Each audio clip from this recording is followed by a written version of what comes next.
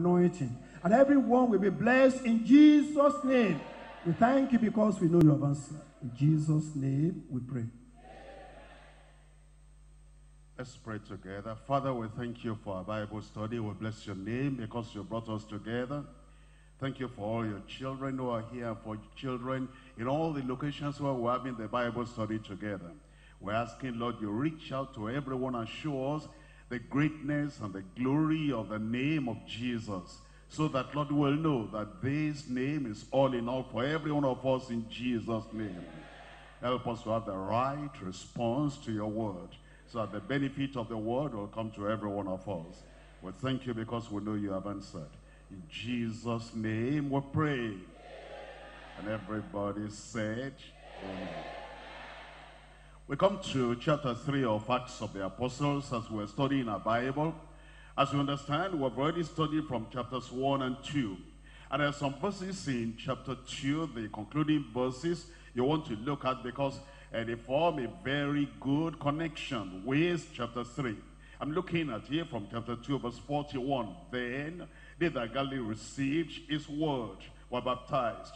And the same day, that's the day of Pentecost, when these uh, apostles and disciples received the outpouring of the Holy Ghost. And that same day, when Paul, when Peter preached the word of God, it says that same day they were added unto them about 3,000 souls. Something happened after that. All these people that came to know the Lord, they now continued steadfastly in the apostles' doctrine. And then it says in fellowship and in breaking of bread and in prayers. Verses 43 and 44 says, And fear came upon every soul, and many wonders and signs were done by the apostles. Many wonders and signs done by the apostles. And it says in verse 44 All that believed they were together and they had all things common. When it says in verse 43, many wonders and signs were done by the apostles, it doesn't give us how they did it. It doesn't give us the, eh, the particular miracles that actually happened. As we come to chapter 3, chapter 3 now tells us how those things happened. And it singles out a particular event and then we'll see now we'll come to chapter 3. It says in chapter 3 verse 1, Now Peter and John went up together into the temple at the hour of prayer, being the ninth hour. They were told about this man who had been paralyzed. In fact, he was lame from birth. And then you look at verse 6, it says, Then Peter said, Silver and gold have I none, but such as I have, I give unto thee in the name of Jesus Christ of Nazareth, rise up and walk. What happened? He rose up and he walked. The apostles and disciples who were recently baptized in the Holy Ghost made a new discovery. They discovered that the name of Jesus, that's the Jesus who was crucified, the Jesus who died, the Jesus who was buried, that same Jesus of Nazareth that the Jews rejected, but heaven glorified. He became exalted. He became glorified after he ascended into heaven. Now that name has equal power, equal authority with the power and authority that Jesus exercised and manifested when he was here on earth. And the name of Jesus in their mouth became the exalted name. That name of Jesus, as these faith baptized people mentioned that name, became a glorified name, a mighty name, a powerful name, the conquering name, the wonderful name, the great name of Jesus. They discovered something that as they mentioned the name of Jesus, that name became recognized in heaven and recognized on earth is the name that saves, the name that transforms, the name that changes sinners, and the name that heals the sick, the name that even raises the dead is the name. By that name, they could cast out devils. They delivered the oppressed, and they moved mountains and overcame Satan, and they produced every desirable, remarkable miracle. And that's what we're learning today, that there's power in this name. That's why we titled the whole chapter, The Supernatural Power in Jesus' name. As you have this name, this power will work in your life. And any mountain to be moved away will move away in Jesus' name. You see the name of Jesus in the heart of the believer. The name of Jesus in the mouth of every true believer works miracles. You will not lose yours in Jesus' name. God is a miracle worker. Nobody will read the Bible and doubt that. As we go from, even from the first page of the Bible, when God said, let there be, let there be, those three words brought everything into existence. And then you come to other parts of Genesis and you find that God is a miracle worker. And the children of Israel sang after they came out of the Red Sea. They were singing of the glorious power of the Lord.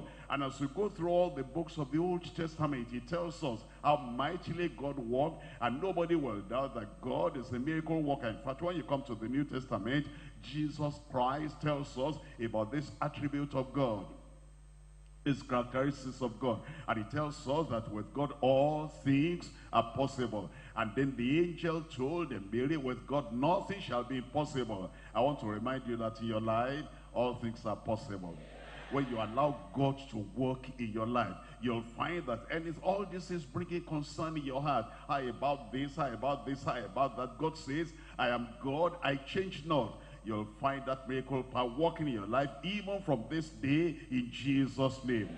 And think about Jesus. His conception was a miracle. His birth was a miracle. His life was a miracle. His ministry was a miracle ministry. He's calling the apostles and then passing over, passing on the power unto them. He transformed their lives. Everything he did was miraculous. And then he was betrayed. He died. He was buried. And then he rose again. That resurrection was a miracle. And 40 days he appeared to his own disciples. And all those 40 days with infallible proof that it is myself. And then he even continued performing miracles after his resurrection. You remember he met his own disciples right there at the shore. Children, do you have any bread? No, they had not. They had toiled all the night and they caught nothing. But risen Christ, glorified Christ, exalted Christ. They throw your net there and they caught a multitude. I just assure that with this name, you'll catch a multitude. Great things will happen in your life in Jesus' name. And then we find that his supernatural name as it has been given to all believers in all generations to work miracles and to lead sinners to the Lord as Lord and Savior. There are some theologians, there are some preachers, they say they believe the Bible, they even say they are fundamentalists of the Word of God, and yet they say no miracles today, that there's no power for miracles today. How about the name of Jesus? That name will never lose its power and faith in the name of Jesus will always do wonders in our lives in Jesus' name.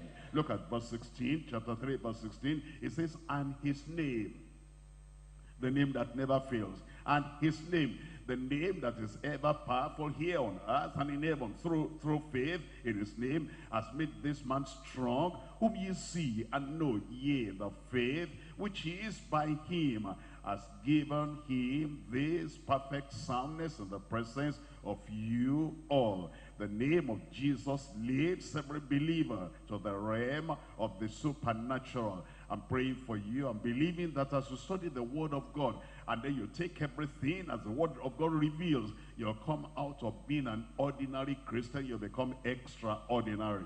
In the name of the Lord, you will do exploits in Jesus' name.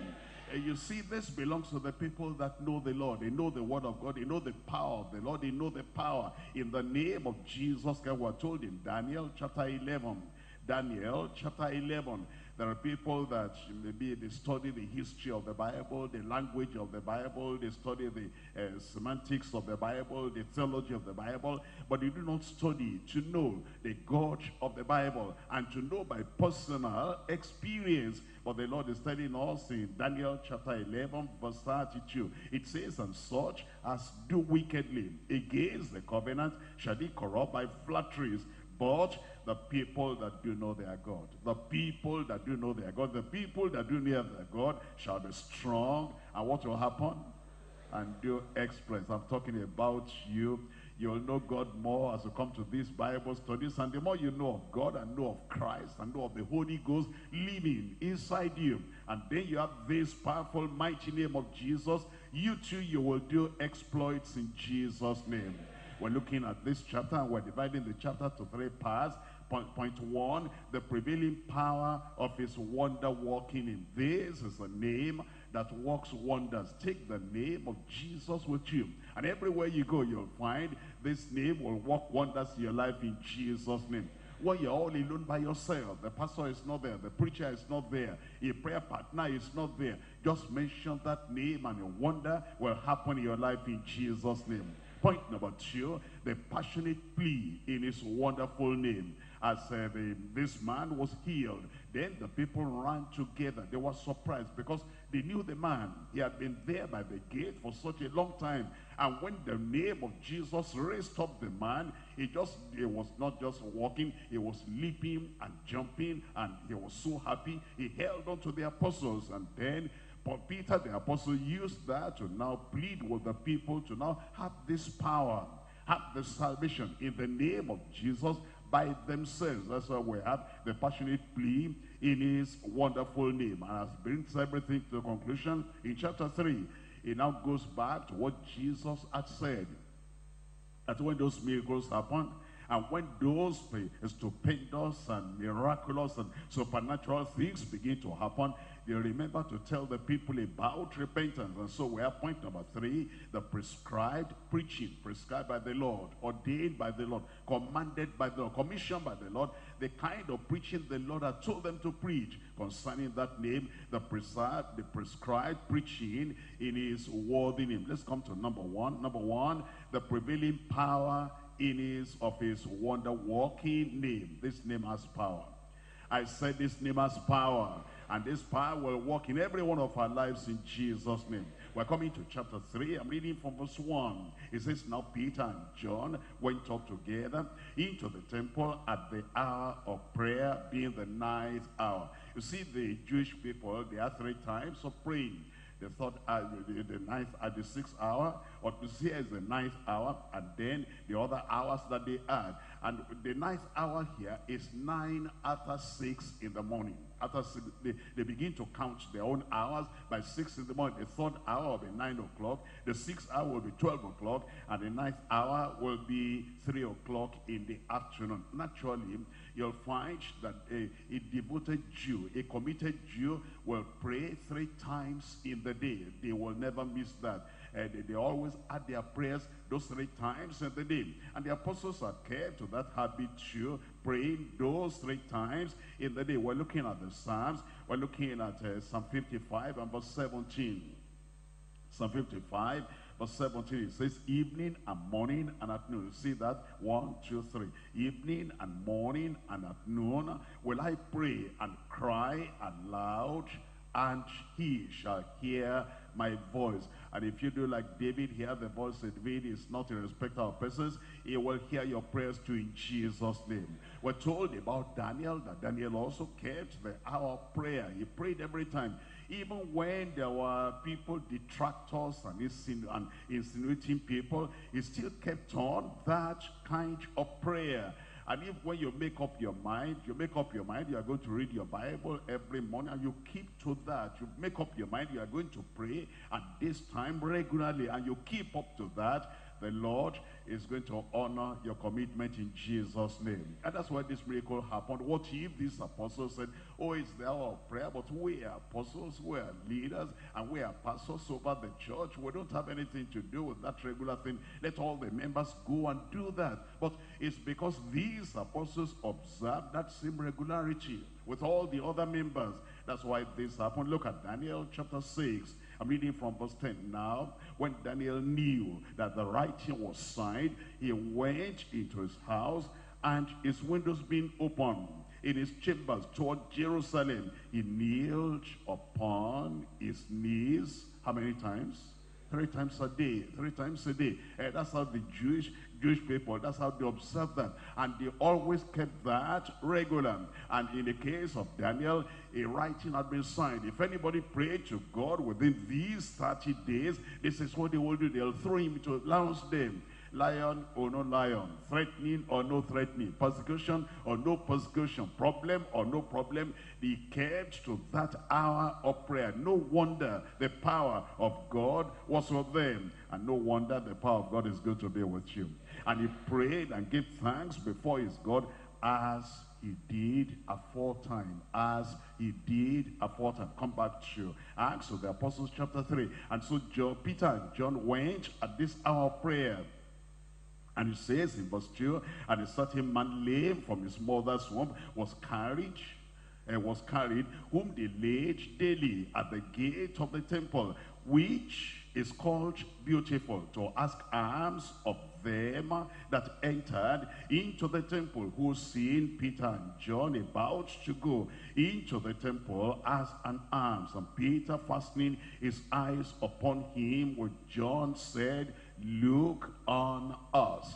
You see, as uh, they were going into the temple, they went through that beautiful gate. That beautiful gate was a wide gate. Would you, would you think of a gate 60 meters long and 75 meters high? Very, very high and very wide. They had a lot of gates going to that temple. But this particular one was the widest and the highest. And then they decorated it with gold and you know very rich things. And history tells us that it will take about 20 people to even try to hold the gate and close the gate or open the gate. That's how heavy it was. That's how costly it was. And this man was always carried there because he felt the people that carried him there felt that you know those who are going to eternal were generous the jews in particular don't you remember the prayer of the of the pharisees? The pharisees said i do this i do this and you know they were in the habit of giving things to the beggars.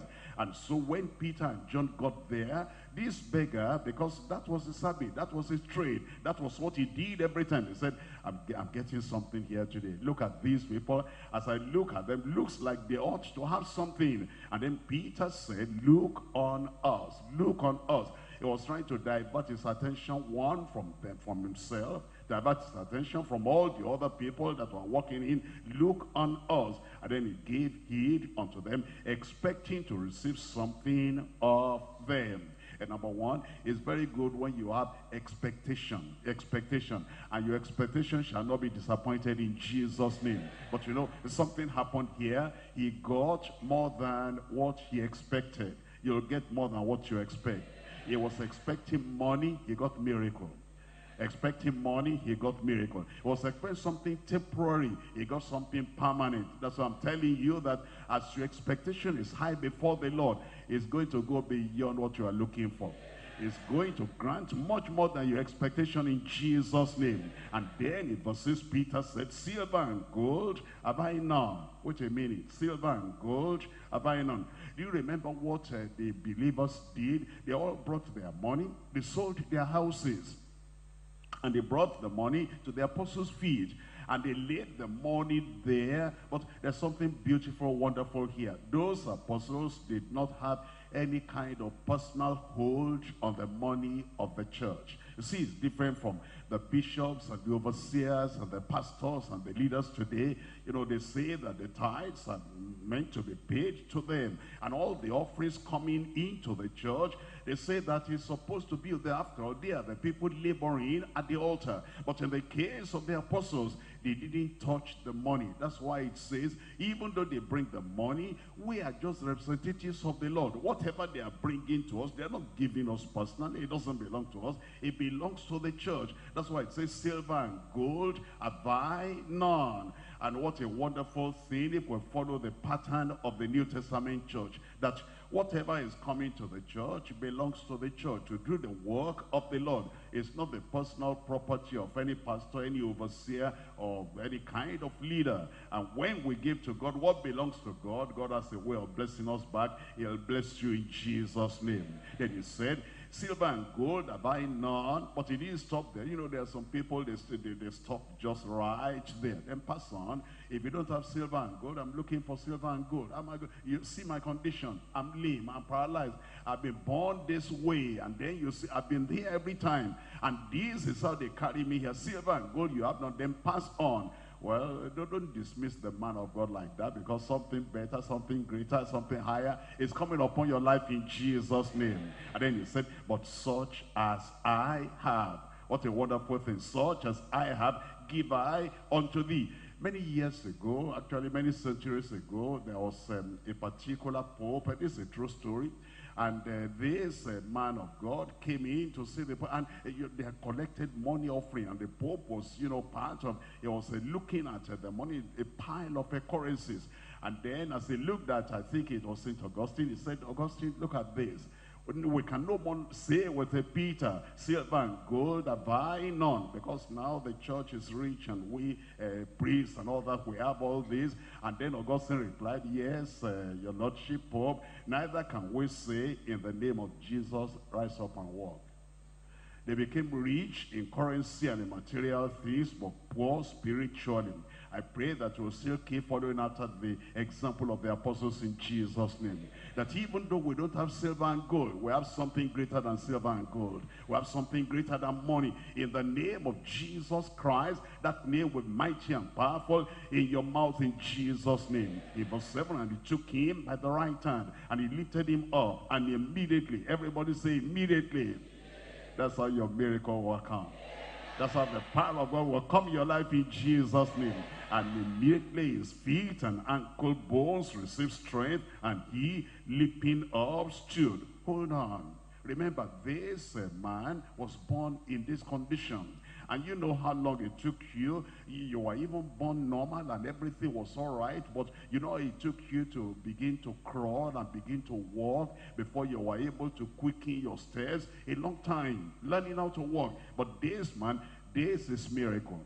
I said this is miracle that immediately he just uh, he said he was leaping up and then he stood and he walked and entered with them into the temple walking and leaping and praising God and all the people saw him walking and praising God because all his sorrow was gone. He didn't even remember the silver and the gold anymore. The greater, something greater has happened unto him. And when this greater thing comes upon your life, even from tonight, you'll forget all the little, little pennies you are looking for because you know, you're looking for pennies, but God is going to give something high, as high as the heavens in Jesus' name. You know, somebody said he was looking for arms, but God gave him legs. Looking for arms, but God gave him legs. And now he could jump and run and do whatever. He said, this is life. This is freedom. You're talking about supernatural freedom. This is it supernatural deliverance. This is it. You talk about a person having wholeness and freedom and total liberty liberation. This is it. And God has not changed. Jesus Christ is the same yesterday, today, and forever. What he did in days gone by is able to do today. In verse 10, and they knew that it was he which sat for alms at the beautiful gate of the temple, and they were filled with wonder and amazement at that which had happened unto him. And let, us see that this name, you know, it didn't just stop there in chapter 3, all through the book of Acts, this name kept on walking. And we have been experiencing the power of this name. If you have not been there with us, you ought to be there. The third week of the month, we started in December, in a little way, and then January, and then February, and then March, and then this April, something happened. I said something happened. I pray you will have your share in Jesus' name. But you know, it didn't stop in chapter 3. Some people say, oh, I'm sorry I missed that one. I wish I were there. Just come on the next time because chapter 4, we're told about the name. Chapter 5, we're told about the power in the name. And then we go on. Every month of this year, something new will be happening the name of Jesus, turning people's lives around and changing families and uniting husband and wife and giving children to the barren, giving job to the jobless and making all the promises you have read about before from Old Testament to the New Testament, God collecting everything together every third week of the month as we go on this year. This year is going to be a year of revival a year of signs and wonders, a year of the miraculous in every one of our lives in Jesus' name. If you have never seen miracle, naked miracle with your own naked eyes, this is the year for you. You will see in Jesus' name.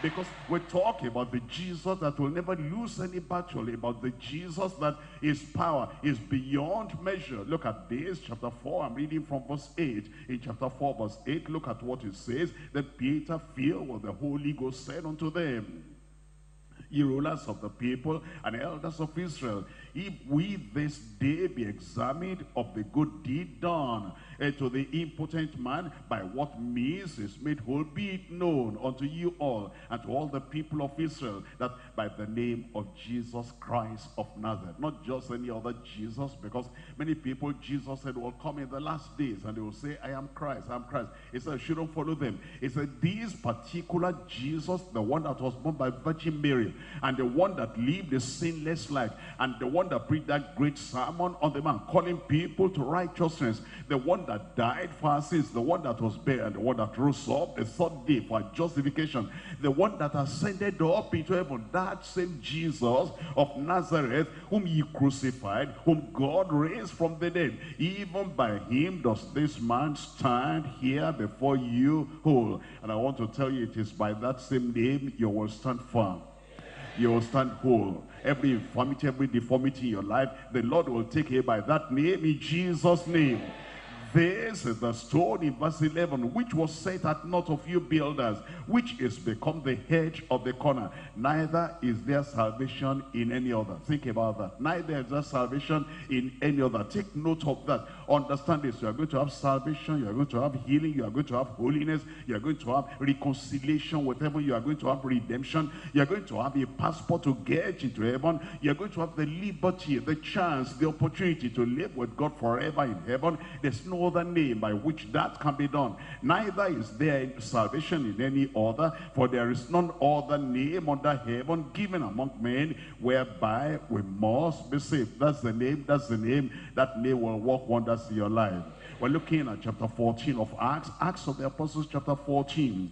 And I'm reading here from verse 8. Acts chapter 14 verse 8. It says, they and there sat a certain man at Lystra, impotent in his feet, being a cripple from his mother's womb. A cripple from his mother's womb who never had walked. This is another case again. You see, that's what we're saying. And there's some people that, you know, some maybe a particular religion, you know, something happened in a particular place at a particular time accidentally.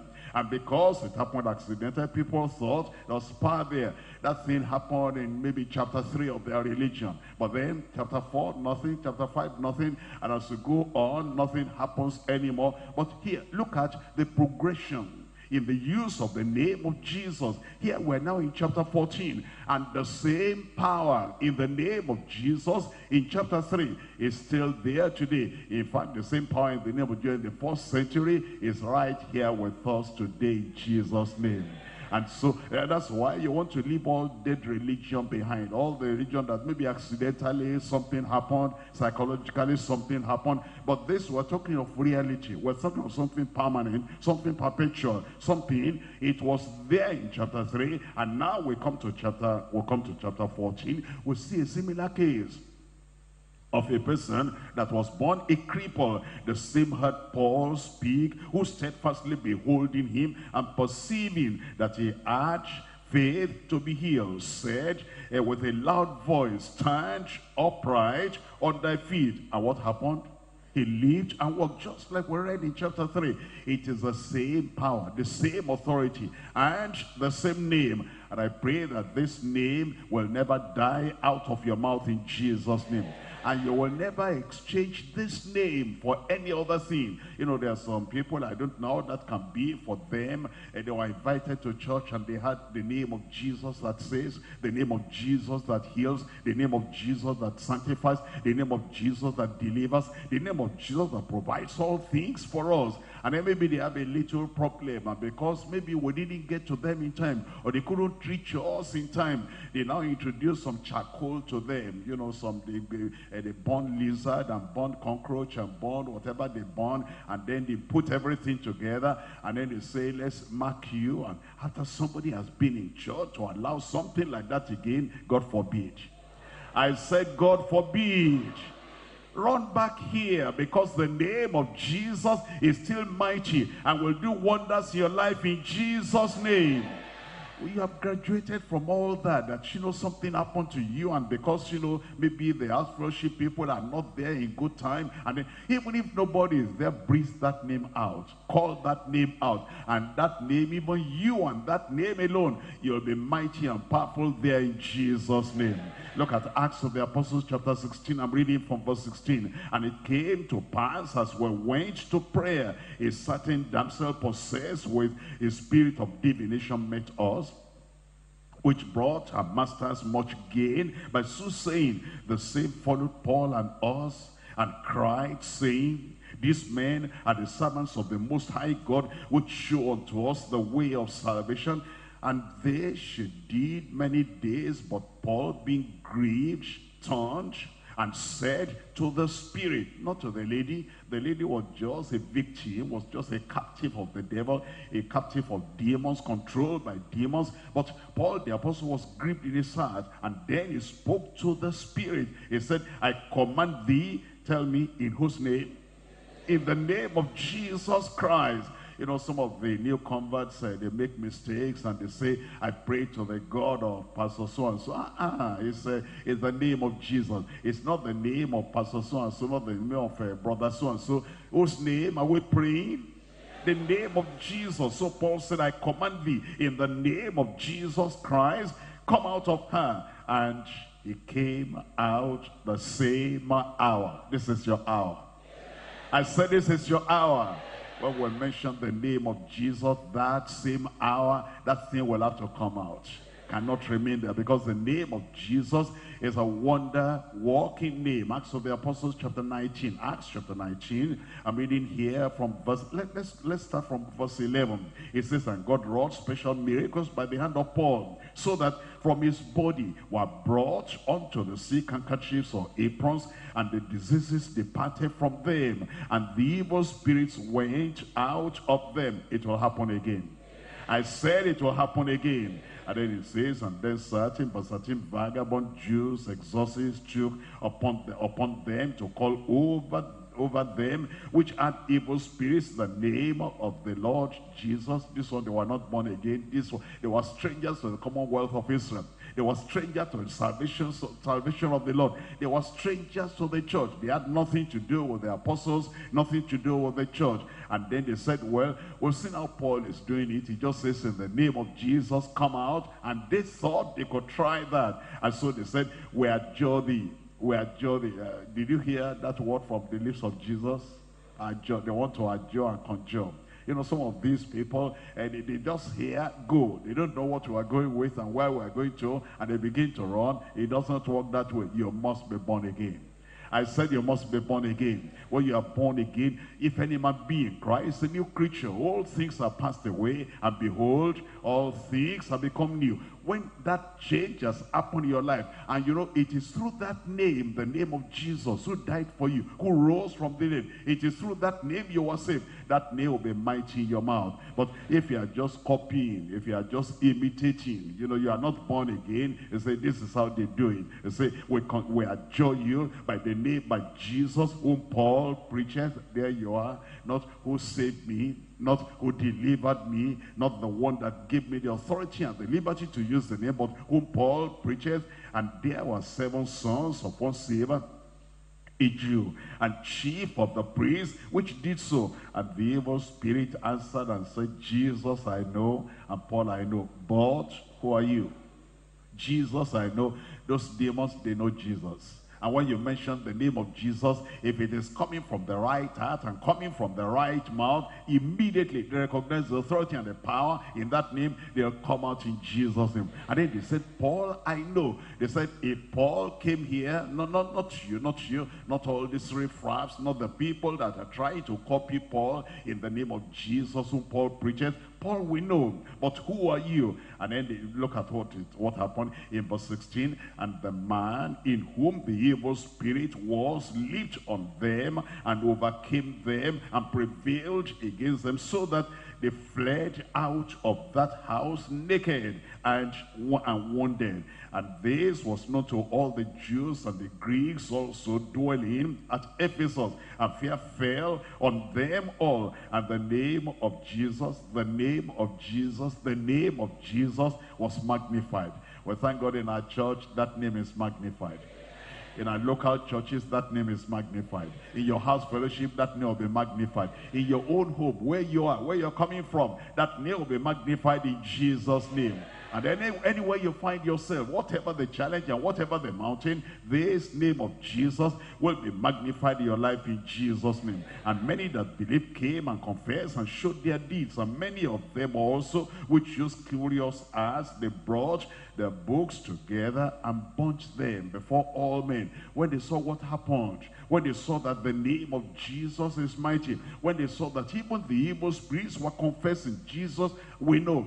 And uh, Paul, we know, but who are you? He said, there's no point remaining in that cult. There's no point remaining in occultism. There's no point remaining in any hidden society. We're going to now join our faith with the Lord. And so they brought all their books together and bunched them before all men. And they counted the price of them and found it to be 50,000 pieces of silver. So mightily grew the word of God and prevailed. This is an exalted name. And this exalted name will work in our lives in Jesus' name. In Philippians chapter 2, Philippians chapter 2, I'm reading here from verse 9. Philippians chapter 2, we're looking at verse 9. Wherefore God also has highly exalted him. God has highly exalted him. And when you come, you believe in that name, you are in agreement with the Almighty God. Because God has highly exalted him and given him a name which is above every name. What does that mean? uh, is above the name of cancer, above the name of tuberculosis, above the name of blindness, above the name of any sickness, above the name of any mountain in your life. Mention that name, all those other names will vanish away in Jesus' name that at the name of Jesus, every knee should bow of things in heaven and things in earth and things under the earth, and that every tongue should confess that Jesus Christ is Lord to the glory of God the Father. And this is the name, the name that uh, the Paul, Peter, the apostle, that he used. And then this man became well. You know, at the gate of the temple, they had seen this man as a helpless man, as a hopeless man, because he was born that way. But instead of writing him off as a helpless, hopeless, unfortunate wretch, they saw in him one in whom we can manifest the power of God and we can demonstrate that the name of Jesus is still mighty. What an example for us to when you see people who appear paralyzed and they are impotent and they are hopeless and they are helpless, we don't write anybody off. Especially this period of great revival. You will talk to them, you will invite them, you bring them along and the Lord will not disappoint your faith in Jesus' name. Think about the whole of the human race. Mankind in general. Mankind is poor and hopeless and lame spiritually. Because we have no standing by birth in the presence of God. We stumble, we fall through life. The very best of persons in the world outside of Christ, a hopeless spiritual cripple born that way, each man is a spiritual beggar. If the impotent man lay at the gorgeous gate of a dead religion, you know, those people are religious, and every time he was there, the dead religion uh, that uh, was so near, but then could not help him, they could do nothing to help or transform him until Peter and John came over there to redirect his attention away from religion unto Jesus Christ the Redeemer, unto Jesus Christ the Savior, unto Jesus Christ the Liberator. And that's what we're saying that we leave all those dead religions instead of just carrying ourselves or somebody carrying you to the gate of dead religion, the religion that cannot save, that we come to Jesus Christ the Savior. Because when we come to Jesus Christ, that name, Jesus, will settle all the problems in our lives in Jesus' name. You see, the moment he met these people that introduced the name of Jesus to him, he was no longer changed to charity received a miracle. He walked, he lived, and as he praised God and he followed them into the temple, to the place of fellowship and prayer, then the people really saw that his life had been touched. People will see that your life has been touched in Jesus' name. This man who had been carried to the gate of the temple every day, it was a familiar sight. All the people saw him now. They knew him. They could not deny that a great miracle had happened in his life. I believe that the people that see you, I said the people that see you. I said the people that see you, they'll see that a touch of heaven has come upon your life in Jesus' name. Point number two now, the passionate plea. It is wonderful name. We're coming back to Acts of the Apostles chapter 3. Acts of the Apostles chapter 3, the passionate plea in his wonderful name. As uh, this uh, miracle happened, uh, you know, anytime a miracle happens like this, the same reaction you find, the same response you find with the people that saw the miracle. Look at it from chapter 3 of Acts, verse 11. And as the lame man which was, which was healed, held Peter and John, all the people ran together unto them in the porch that is called Solomon's greatly wondering, greatly wondering. You see, the same reaction. It's like I remember, I think uh, it was uh, at the episode, the edition of uh, Miracle Revival for this March, last month, when that, for the first time, that man just got up like this and people saw and they ran. And that's just spontaneous. Nobody tells people to run like that. Even when you try to calm them down, everybody stay in your place, stay in your place. I want to see miracle. I want to, and there's something happening in that hall there. I want to be there. That's why they ran there. That's the way it happened then. That's the way it is still happening today, which is telling us that the same power in the early church is in our church the same glory, the same authority in the name of Jesus in the early church is in this church at present. And I pray that as the rain of miracles, as the rain is falling, it will fall in your house. It will fall in your community. And then the same reaction they had that I want to be there. You know, there are some people that will sit back and say, well, I hear that something is happening there, but this uh, week coming weekend, I don't think I can go now. Uh -uh. Well, it's, everybody should be running there. Vehicle or no vehicle, car or no car, you will be there. I said you will be there. Because uh, this uh, April now is the time of total breakthrough. Total breakthrough. I'm telling you something is happening. I said something is happening. Looks like I'm the only one excited about what is going to happen in April. It is going to happen in Jesus' name. Uh, you know, it's not, it's not, it's not a, a temporary breakthrough, a partial breakthrough, a minor breakthrough, a minimized breakthrough. I'm talking about total. Everybody say total. Total breakthrough. And when we say breakthrough, that means every door that is uh, closed, the Lord will break through everything. Every channel that is, uh, that is close to your life, the Lord will break through everything. You know, when there's a breakthrough, you go through, you come through, you pass through, and then you get to that other side, and something will happen to you in Jesus' name. You, you need to be counting the days from now. You say today is, uh, you know, 20, uh, 22nd, isn't it? 20, what? Uh-huh. And then you say tomorrow 23rd, and then you say the day, hurry up now, hurry up now, because that day, when that day comes, you will never be the same in Jesus' name.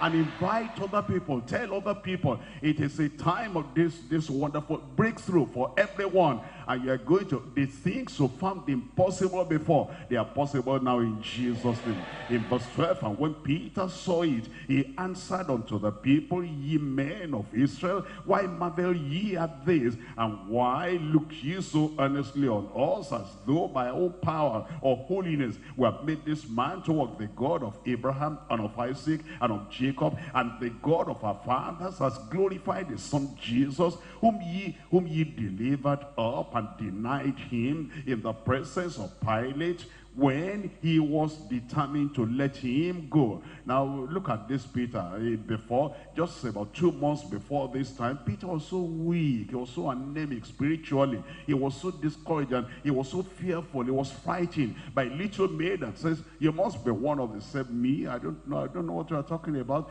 I said, I think you are a follower of Jesus. I don't say that again. I am not. And then another person came again. You must be a follower of Jesus. Your speech be you. Your speech is betraying you. No, I don't know what you're talking about. Another third person came, he began to curse. If I ever knew Jesus in my life, he, because he didn't have the backbone to stand. But then something has happened. I said something has happened the day of Pentecost came and that man, all the weakness had been washed away. The Holy, the Holy Ghost fire came upon them and the fire burnt every chaff in his life and then the wind blew. All the, all the chaff and all the weakness, the wind blew everything away and now he stood courageously and boldly. He said, you crucified Jesus, you denied Jesus, you denied the Prince of Life. And he, he really told them, then he said, look at verse, look at verse 14. He said, Pilate wanted to let him go because Five different times. Pilate said, I find no fault in this man. Look at Luke. I find no fault in this man. Look at John. I find no fault in this man. Even the wife of Pilate came. Don't have anything to do with blood of that innocent man. Because he's an innocent man, a sinless man, a perfect one. And then he said, but all the same, ye denied the Holy One and the just, and desired Barabbas, the murderer, to be granted unto you. And you killed the Prince of Life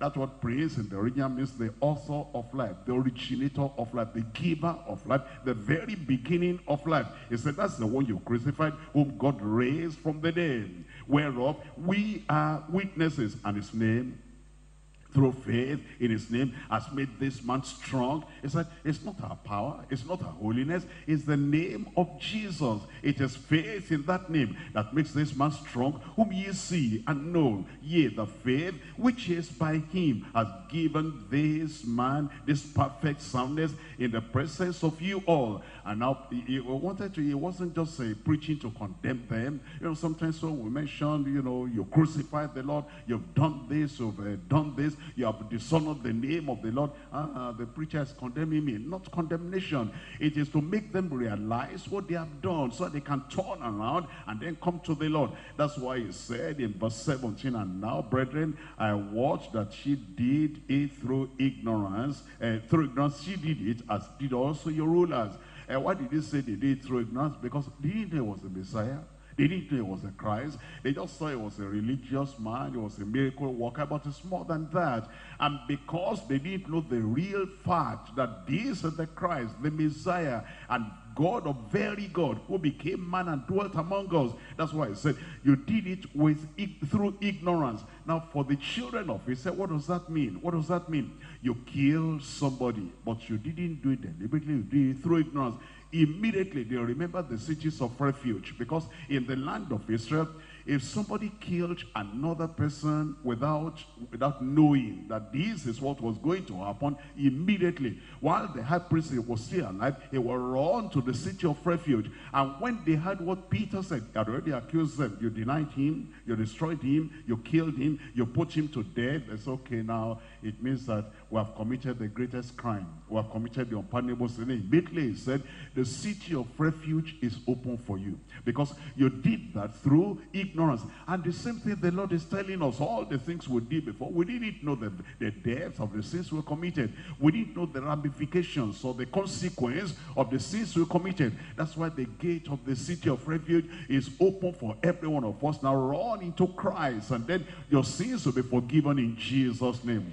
Then he says in verse 18, but those things which God before assured by the mouth of all his prophets that Christ should suffer, so uh, and he has so fulfilled. It tells them that it is not by accident. All those things actually were predicted in scripture, prophesied in scripture. Look at Luke chapter 24. It was saying that everything that happened to Jesus was not accidental. It was act as the scriptures had predicted and prophesied. Luke chapter 24, I'm reading from verse 26.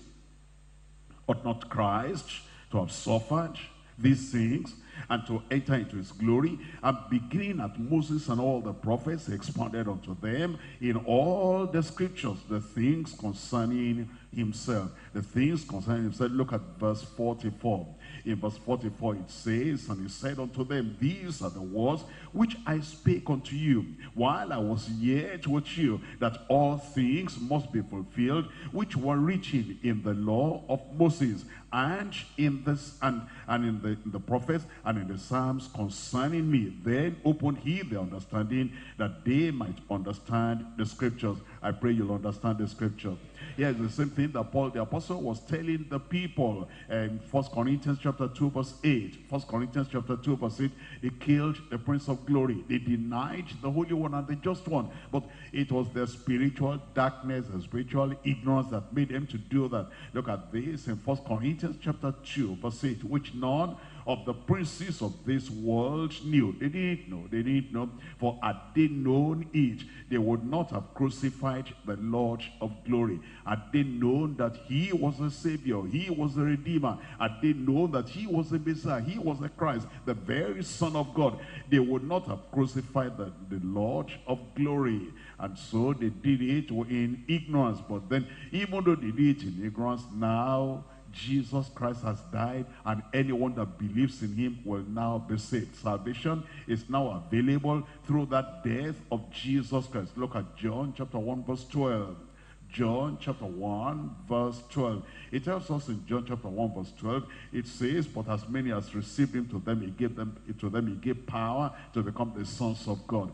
Jesus Christ has died for you. He is the Lamb of God that taketh away the sins of the world. As many as received him. If you will not receive him, not received it, it's religion. It's not just that I've joined the church. More than that, it's not that I believe the doctrine. More than that, as many as received him, to them he gave power to become the sons of God. Even to them that believe on what? On his name. On his name. As we believe today, something wonderful will happen in your life. First John chapter 5. First John chapter 5. We're reading from verse 11. First John chapter 5, and we're reading from verse 11. And this is the record that God has given us eternal life, and this life is in his Son. You have the Son of God, you have life. You don't have the Son, you have darkness, you have death, you have spiritual death, and eternal death, eternal doom with the final end. But it says, this is the record that God has given us eternal life, and this life is in his Son. It's not in religion. It's not in, I do this, I don't do this, I do this, I don't do this. But it's talking about what Jesus himself, what he gives. He gives us eternal life. And then in verse 12, he that has the Son has life. He that has the Son has life. How do you have the Son? You turn away from your sin and then you turn to Jesus Christ as Savior. And you say, I receive him. I receive him. That's why he said, Behold, I stand at the door of your heart and I'm knocking. If anyone hears my voice and he opens the door, I will come in. And when he comes in, when you have the Son, you have life. He that has the Son has life. He that has not the Son of God has not life. If he doesn't have life, what does he have? He has death, he has desolation, he has destruction, he has doom, he has, he has damnation, he has eternal punishment. He that has not the Son of God has not life. These things have I written unto you that believe on the name of the Son of God, that she may know, and that she may have, and that she have eternal life, and that she believe on the name of the Son of God. And so if you're asking, if you're not born again yet, you're saying, how can I have this life? How can I have this redemption? How can I have this salvation? How can I know that this eternal life is mine? That if I die here on earth, I will go to heaven. Look at this in Acts of the Apostles, chapter 16, verse 31. Acts chapter 16, we're looking at verse 31. And they said, Believe on the Lord Jesus Christ, and thou shalt be saved and thine house and thou shalt be saved and thine house. So simple, so simple. Believe on the Lord Jesus Christ and thou shalt be saved and then your family will be saved as they believe with you in Jesus' name. Let's come to chapter 3 of Acts. Acts of the Apostles chapter 3 as um, he made the play before them. He was not going to bring a kind of climax, a conclusion to what he was telling them. We're looking at Acts of the Apostles chapter 3, and I'm reading from verse 19. Acts of the Apostles chapter 3, and we're looking at it from verse 19. It says in verse 19, Repent ye therefore you killed the Lord. Repent ye therefore. You denied the Holy One. Repent ye therefore. You did this in ignorance. But now that you know that this is what you've done, if you persist in this, it means then you are rigid in your sin. You are rigid in your crime. You are rigid in your evil. But now you need to repent. Now that I've told you, repent ye therefore and be converted, that your sins may be blotted out. Let's stop there for a moment. He said, the Lord is waiting for you. He wants to blot out your sin, even the remembrance of the sins you have committed, all the other sins you have committed, and then the climax, the greatest, the highest, that the very Prince of life, you destroy the Prince of life, the originator of life, the giver of life, and the author of life. You killed him and rejected him, but there's still a way, there's still a way. You can still come out of that, and life can come into you. That's why I said, repent, repent ye therefore, and be converted. Repentance and conversion. Repentance and conversion. Repentance comes before conversion. Conversion comes after repentance. It is wonderful that uh, Peter was not carried away with the miracle that happened because he remembered now what the Lord Jesus Christ had done when he was here on earth. Look at this. Look at what Jesus, how Jesus preached. We're looking at Mark. Mark chapter 1. And I'm reading from verse 14 and verse 15 now. After that, John was put in prison. Jesus came into Galilee preaching the gospel of the kingdom of God and saying, the time is fulfilled The kingdom of God is at hand. Repent ye and believe the gospel. That's how Jesus preached. And thank God that Peter remembered that that is the message he was to preach. He said, repent ye therefore. Well, look at Luke chapter 13. Luke chapter 13, and I'm reading here from verse 3, the very words of Jesus Christ. He said, I tell you nay, but except ye repent, ye shall all likewise perish. Look at verse 5. I tell you nay, but except ye repent, ye shall all likewise perish. There's some people, when a miracle happens, they forget all that Jesus Christ has told us to do. As the people run together, they are shouting, they are excited. This has happened, what a great thing. They forget that that goodness of God is to lead us unto repentance. That it is not just miracle in isolation, healing in isolation, deliverance in isolation. That that goodness of God is to lead us unto, lead us unto what? Unto repentance. Romans chapter 2. Romans chapter 2, I'm reading to you from verse 4. In Romans chapter 2, we're looking at verse 4. It tells us here in Romans chapter 2, verse 4, it says, Or despisest thou the riches of his goodness and forbearance and long-suffering, not knowing that the goodness of God leadeth thee to repentance, Peter remembered that. He said, this miracle is not just an isolation. God has done this. This is a great thing, a wonderful thing. But this is to lead us and to lead everyone to repentance. Remember that Jesus Christ had told them before he left, just before he ascended into heaven, that the message of repentance is what they want to preach. Luke chapter 24. I'm reading from verse 46 and verse 47. Luke chapter 24, and said unto them, Thus it is written, and thus it behoved Christ to suffer, and to rise from the dead the third day, and that repentance and remission of sins should be preached in his name in his name. Not only healing in his name, miracle in his name, moving mountains in his name, casting out devils in his name, that repentance and remission of sins should be preached in his name. That's the reason you'll find them in the Acts of the Apostles. They emphasize that which the Lord himself had emphasized. Acts of the Apostles chapter 5. Acts chapter 5, reading from verse 30 and verse 31. It says, The God of our fathers raised up Jesus, whom ye slew and hanged on a tree. Can you, do you see that after Peter received the Holy Ghost, the fear that was there before, the cringing that was there before, and covering the mouth before you could talk, that was there, all that was gone boldness, authority, conviction, courage came upon him. And then he said, ye slew him and you hanged him on the tree. Him as God exalted with his right hand to be a prince and a savior and to give for to give repentance, repentance to Israel and forgiveness of sin. They never forgot that. Jesus had preached repentance and that's what they did. They didn't allow the miracle to just carry them away. We're looking at chapter 17, chapter 17 verse 13 chapter 17, verse 30. There's some people that will say, well, repentance no more necessary now because, you know, only believe on the Lord Jesus. I Just raise up your hand and then accept Jesus as personal Savior. About all the sins I committed before, God does not see your sin. He doesn't look at your sin. That's what they tell them. They say, just, just raise up your hand. That's all. But the, in the Bible, in the New Testament, it's repent, repent. And I pray that we'll keep to the Bible in Jesus' name. Give me a good amen.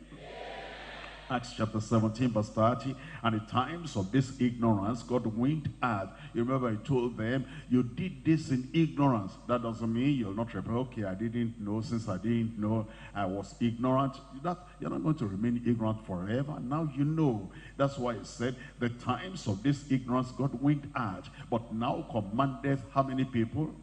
Tell me out loud all men everywhere to repent because he has appointed a day in the which he will judge the world in righteousness by that man whom he has ordained, whereof he has given assurance unto all men in that he has raised him from the dead. He raised him from the dead so that we will repent of our sins, repent of the evil things that we have done. And then Paul, the apostle, came later. Look at now what's happening. Acts chapter 20, verse 20 and verse 21. Acts chapter 20, verse 20 and verse 21. It says, and how I kept nothing back that was profitable unto you, and I've showed you, and I've taught you publicly and from house to house, testifying both to the Jews and also to the Greeks both to the Jews and also to the Greeks, repentance toward God and faith toward our Lord Jesus Christ. Not just faith, not just faith, repentance toward God. Everything God condemns that you have been doing, you now know that God condemns them and you turn away from them. Repentance towards God and faith in the Lord Jesus Christ. Verse 26, in verse 26, wherefore I take you to record this day that I appear from the blood of all men. If we don't tell them about repentance, tell them to turn, tell them to change, tell them to get rid of all those evil things they were doing before and come to the Lord and walk in the light. If we don't tell them, we'll be guilty of their blood. But because Paul the apostle told them, that's why he said, I'm now pure from the blood of all men, for I've not shown to declare unto you all the counsel of God. I pray that we too will declare the whole counsel of God in Jesus' name. And there's something interesting here. Jesus Christ went to heaven. And then when he was uh, sending message from heaven, do you know what message is sent from heaven? Look at Revelation chapter 2. Revelation chapter 2. So that the church will not forget that that message of repentance, Jesus preached it on earth. The apostles revealed that message. They preached it here on earth in the first century. And then when Jesus went to heaven and he sent the message down from heaven, he still preached that message of repentance, which is telling you that now if Jesus were to come here today to preach to you, if you're still in your sin, or if you're a backslider, or if you're not a backslider, but you're doing things that they, they, are a little bit shady. It's not how you should do. God wants you to walk in newness of life and then in a perfect life, spotless life. But you're doing shady things. He's calling you to repentance. Revelation chapter 2. I read from verse 4. Revelation chapter 2 verse 4, Nevertheless, I have somewhat against thee, because thou hast led thy first love. These were church people, members of the church and leaders in the church. He said, you have left your first love. Remember therefore from when thou art fallen and repent. You see that? That's the message of Christ preaching to us, telling us, reminding us even from his throne of glory in heaven. He said, repent. I'm looking at it now from verse 15. It says, so as thou also them that have the doctrines of the Nicolaitans, which things I hate. He talks to another church, and I said, in this church, they're doing things which I hate. Do you know there are things that Jesus hates? There are doctrines that Jesus hates. There are appearances that Jesus hates. There are attitudes that Jesus hates. There's a kind of interaction, association that Jesus hates. And there's a kind of uh, kind of utterances that Jesus hates. And Jesus says here, you have the people that the doctrine of the Nicolaitans, which things I hate. Look at verse 16. Repent, or else I will come to thee quickly and fight against them with the sword of my mouth. Jesus had gone to heaven, and from heaven was still sounding this thunderous message of repentance to the people. He said, repent. I come to chapter, this chapter 2, I'm looking at verse 20, notwithstanding, I have a few things against thee, because that thou sufferest, thou permitted to allow that woman Jezebel, which calleth herself a prophetess. The church did not call her prophetess, she called herself a prophetess. The church did not appoint her, but she appointed herself a prophetess to teach and to seduce my servants, instead of leading people to righteousness and to justification, to holiness, and leading people on the way to heaven, these self-styled and self-acclaimed the prophetess was teaching them and seducing them to commit fornication and to eat things sacrificed unto idols. And I gave her space to repent of her fornication, and she repented not. You see, Jesus already in heaven and still sounding the message of repentance. And Peter was following after the footsteps of Jesus Christ. Repent ye therefore and be converted, that the times of refreshing God may blot out your sins, and times of refreshing will come from the presence of the Lord. It says in verse 21, I gave her space to repent of her fornication, and she repented not. Behold, I will cast her into a bed, a bed of affliction, a bed of suffering, a bed of damnation, a bed of eternal condemnation. And them that commit adultery with her into great tribulation, except they repent of their deeds, except they repent of their deeds. The Lord is still challenging everyone. If there's any sin in your life, any sin in your hand, any sin in your house, any sin in your place of work that you are taking part in, the Lord is saying, look at how powerful the name of Jesus is, and look at how mighty the name of Jesus is, and the goodness of the Lord, and the answer to prayer is to lead us to repentance. If God can do that for me, if God can do this today, and I see the manifestation of the power of his name, there's just one thing for me to do. Repent and be converted. Look at verse 20, 23. And I will kill her children with death. Our converts, the people that, you know, support her, they support Jezebel, they support that one that called herself prophetess. And all the churches shall know that I am he, which searcheth the reins and the hearts, and I will give to everyone according to your works. I pray that we will hear the message of the word we will repent before it is late in Jesus' name. Look at chapter 3, verse 1. We're looking at chapter 3, and we're looking at it now from verse 1. Unto the angel of the church in Sardis write, These things is he that has the seven spirits of God and the seven stars. I know thy works, that thou hast a name, that thou livest, but are not dead. Be watchful and strengthen those things which remain, and are ready to die. For I have not found thy works perfect before God. God is examining our ministry. It's examining our work. It's examining our influence on the church. It's examining our ministry in the church. You know, activities there, program there, this one there. And the Lord said, I know you're active. I know you're doing this and that. But people are not getting saved. People, they are getting here, but are they getting saved? Are they having new lives in Christ? Is there holiness in their lives? I've not found your work perfect before God. Remember, therefore, how thou hast received and heard, and hold fast and repent. This is Christ telling the church that even when we're doing some things that appear good, you have a name that you live, but you are dead, but now you need to repent. If therefore thou shalt not watch, I will come on thee as a thief, and thou shalt not know what hour I will come upon, upon thee. Verse 5, he that overcometh, thank God I'm going to be an overcomer. I said I'm going to be an overcomer. You know, when you repent and you turn away from anything that brings, uh, you know, the wrath of God, the judgment of God, when you repent of those things, then the Lord will have favor, mercy upon us. He that overcometh, the same shall be clothed in white raiment, and I will not blot out his name out of the book of life, but I will confess his name before my Father and before his angels. Uh, let's come back to Acts of the Apostles, chapter 3. Uh, Peter had said, repent ye therefore and be converted, be converted.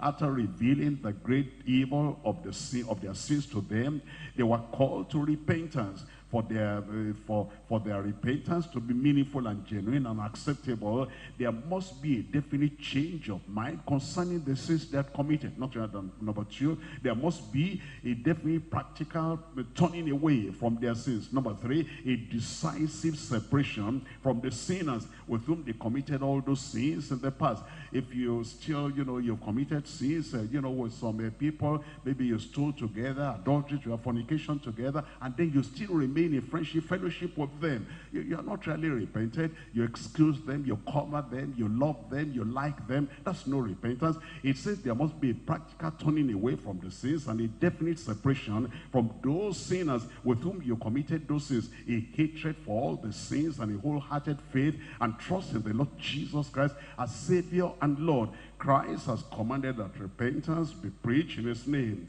by his authority as he preached it following his example and then we emphasize conversion change total change transformation of life bringing forth the fruit of repentance. That is definite proof and evidence of real salvation repentance. When he said repent ye therefore that your sins may be blotted out. When the times of refreshing shall come from the presence of the lord then he talks about the restitution restoration of all things as has been promised after genuine repentance. Everything we have lost when there's repentance everything you have lost there'll be a restoration. I said there'll be a restoration and if you have said, I about this in my life, I about this in my life, I about this in my life, that thing is coming back.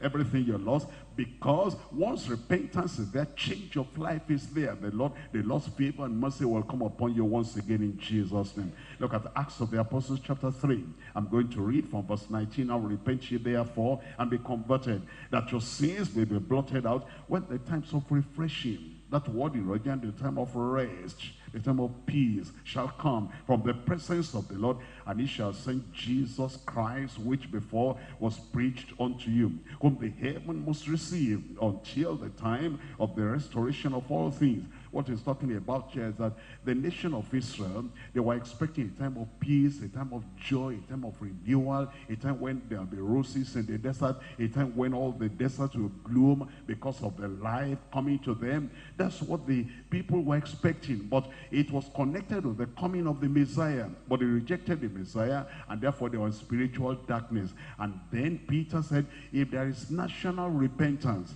that time will come because Jesus will bring that time. But if national repentance has not come, individual repentance now, when you repent as an individual or as a family or as a local church, that time of refreshing will come upon your life. It says, which God has spoken of by the mouth of all his holy prophets since the world began.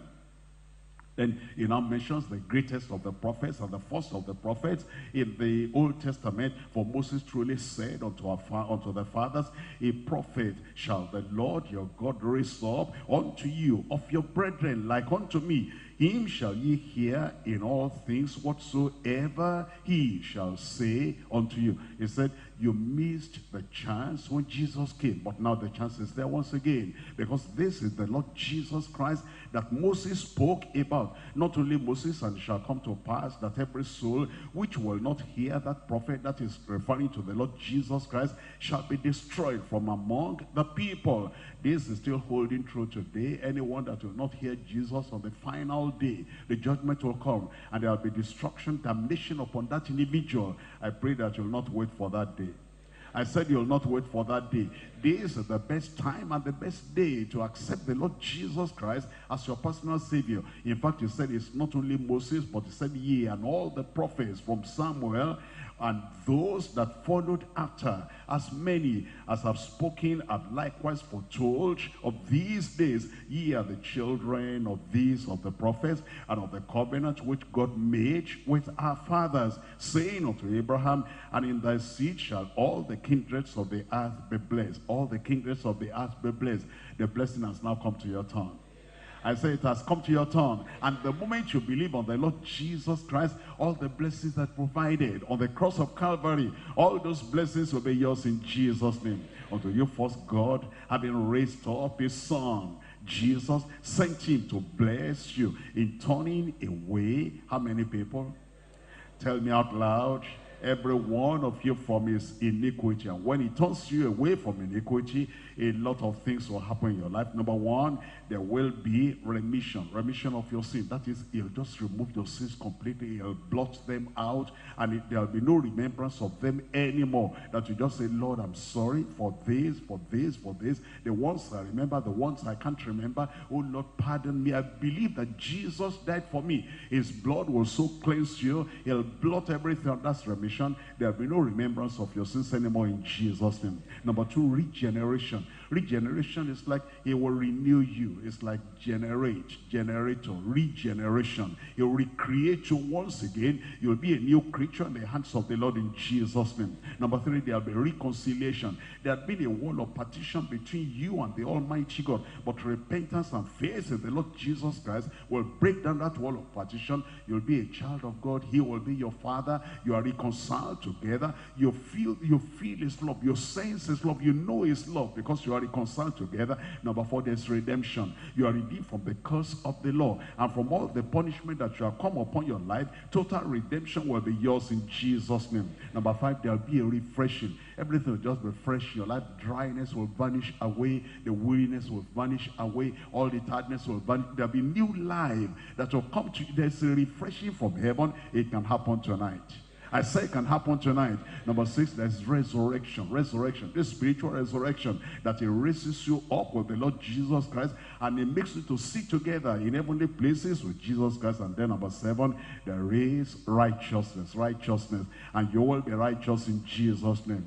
Look at Romans chapter 10. Romans chapter 10. I'm reading from verses 9 and 10. That if thou shalt confess with thy mouth the Lord Jesus, confess Jesus as your Lord, confess Jesus as your Savior. He died for me. It was for me he shed his blood. I own him now as the controller of my life, director of my life, and the Lord of my life. That if thou shalt confess Jesus with thy mouth as Lord Jesus, and shalt believe in thine heart that God raised him from the dead, thou shalt be saved. Then he says, For with the heart man believeth unto righteousness, and with the mouth confession is made unto salvation. Salvation and everything that comes with salvation can be yours right now. I say it can be yours right now. Why don't you rise up and talk to the Lord? Remember, today we're speaking about this wonder-working name, this worthy name, this wonderful name, the name of Jesus. Open your mouth and talk to the Lord in prayer and say, Lord, here am I. Lord, here I believe. I believe. I believe on the Lord Jesus Christ. I believe on the Lord Jesus Christ. You tell the Lord, any sin in your life, any evil in your hand, any crime there, the Lord is expecting that you repent. Repent ye therefore and be converted. And then all these good, good things will come upon your life. Open your mouth and talk to the Lord. Tell the Lord. Tell the Lord. If you don't repent, if you die in sin, that will mean hellfire straight. But as you repent, you call upon the Lord. You say, Lord, I'm sorry for my sins. Sorrow for sin. So sin will not be your ruin. Yes, the name of Jesus is mighty. The name of Jesus is powerful. But then his goodness leads us to repentance. His miracles lead us to repentance. His mercy leads us to repentance. And without holiness, no man shall see the Lord. That's the one to call upon the name of the Lord. Whosoever shall call on the name of the Lord shall be saved. Whosoever, whosoever, whosoever shall call on the name of the Lord shall be saved.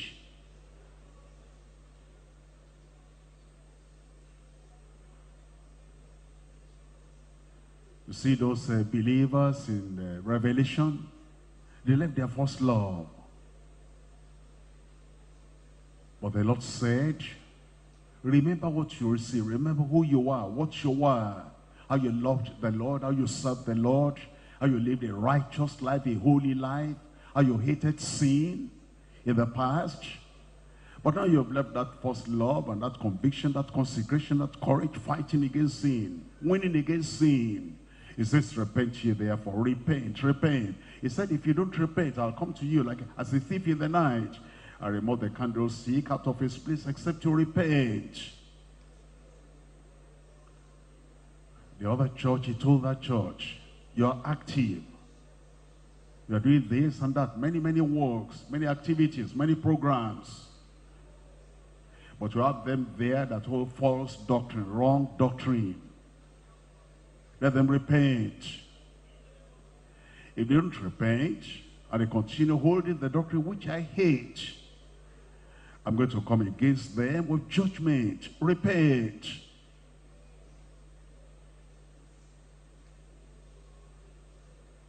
And then you know he talks about the one that calls herself a prophetess, Jezebel. Seducing members of the church to commit fornication and adultery. And the pastor was so weak.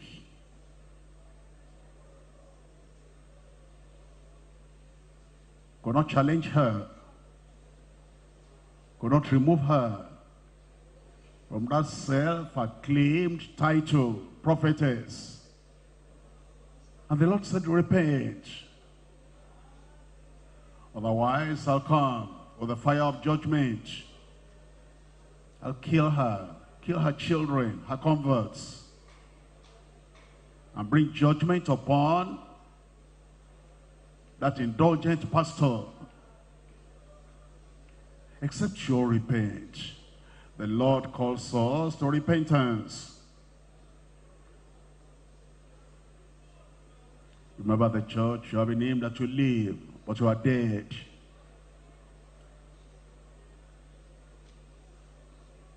Remember how you first received. Remember that holiness in the early church, early part of the church. Say, follow peace with all men and holiness, without which no man shall see the Lord. Repent.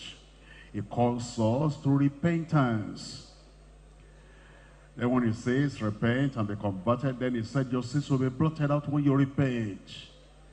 If you keep on rejoicing in your sin, your sins will not be blotted out.